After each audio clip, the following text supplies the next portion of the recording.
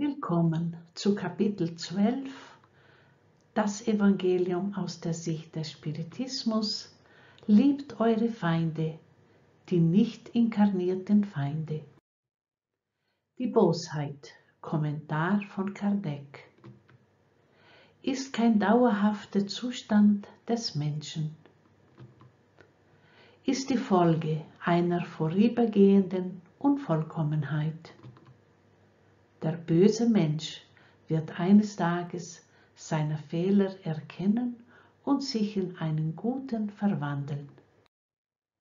Der Tod kann ihn nur von der körperlichen Gegenwart des Feindes befreien. Dieser kann ihm mit seinem Hass verfolgen, sogar nachdem er die Erde verlassen hat. Die Rache. Sie ruft noch eine größere Verärgerung hervor, die sich von einer Existenz in die andere fortsetzen kann.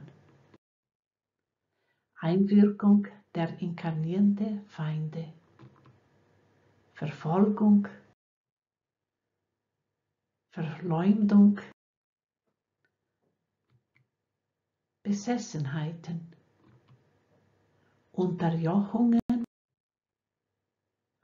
Hass beruhigen durch Nächstenliebe zwischen Inkarnierten und Nicht-Inkarnierten, den Hass auslöschen. Es gibt kein so böses Herz, das vom guten Verhalten nicht berührt wird. Aus einem Feind kann man sich einen Freund machen, vor und nach dem Tod. Durch böses Verhalten verärgert man den Feind. Daraus folgt, dass er dann sogar als Werkzeug der Gerechtigkeit Gottes dient, um denjenigen zu bestrafen, der nicht verzeihen konnte. Der Spiritismus beweist, durch Erfahrung und das Gesetz, welches die Beziehung der sichtbaren und unsichtbaren Welt regelt, dass der Ausspruch, den Hass mit dem Blut auslöschen, vollkommen falsch ist.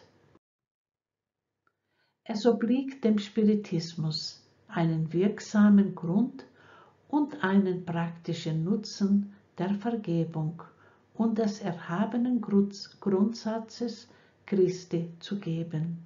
Liebt eure Feinde. Kardec dazu, wenn auch der Erde keine bösen Menschen gäbe, würde es um die Erde herum keine bösen Geister geben.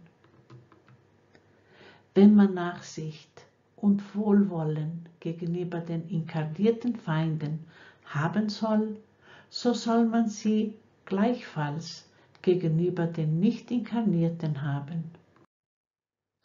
Liebt eure Feinde.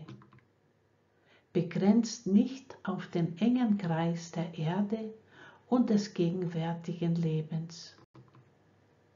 Gehört zu dem großen Gesetz der universellen Solidarität und Brüderlichkeit. Und schon sind wir am Ende gekommen, dieses kurzes Video. Wir haben noch zwei Teile von diesem Kapitel. Ich hoffe, Sie können wieder dabei sein. Vielen Dank für heute und bis bald.